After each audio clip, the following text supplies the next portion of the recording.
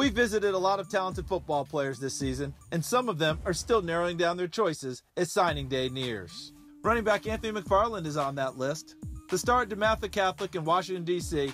missed almost all of his senior season with a broken leg, but his recruitment never slowed down. Despite the injury, he's still confident that he can be the best running back in the nation. No doubt, no doubt. You know, you gotta have that confidence. You know, I mean, I'm I got that competitiveness in me, so you know, I just I feel like that I'm the best. Absolutely, he, he's in a program where we, you know he he's sacrificed uh, so that um, everyone can can succeed. Uh, uh, without a doubt, he can be as good as he wants to be.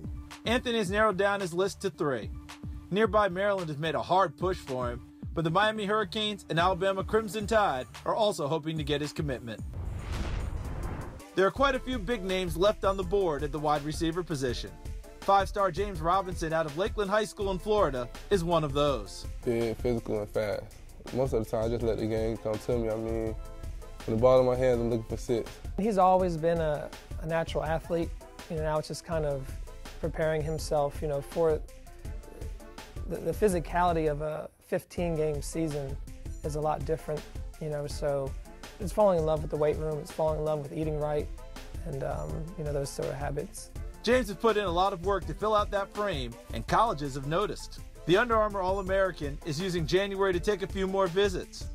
Florida, Alabama, Ole Miss, Clemson, and Oklahoma are among the schools still in the mix. Wherever he ends up, James hopes to contribute early. I mean, when I when I want to step off of college, I want the coaches to know that I'm here to, about business. The best thing about James is he wants to win. Joseph Lewis is another five-star receiver who remains undecided.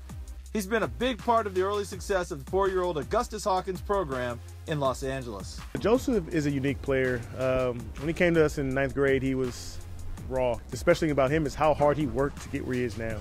In just three short years, he's uh, he's put on what 37 odd pounds. He's uh, he's worked his butt off to be considered one of the best receivers in the country.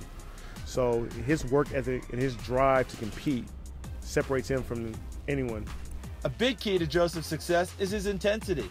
He doesn't take any plays off in games or in practices.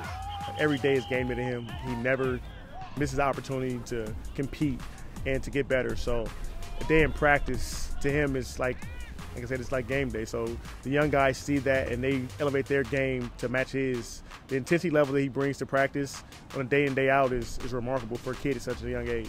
USC and Nebraska are the two schools leading the way for Joseph with just a couple of weeks to go before signing day. In Ohio, Lynn Bowden of Warren G. Harding is an interesting prospect because he could play a few different positions at the next level. As a prep quarterback, he set quite a few school records, including career rushing yards, total offense, and career touchdowns. At the next level, though, he could fit in as a defensive back or a receiver. Most of the college coaches that I talk with and that as I see him, as I see him at the next level, foresee him at the next level, is probably a slot guy uh, a, a, guy that you got to get the ball in his hands. But he could be a corner if he wanted to be a corner. He could be a physical, strong safety if he wanted to do that. But I, I just think, you know, he's a type of young man that, you know, you got to try to keep the ball in his hands and allow him to make plays. Lynn is scheduled to announce his college choice January 25th. Kentucky, Michigan State, and Penn State look to be the favorites.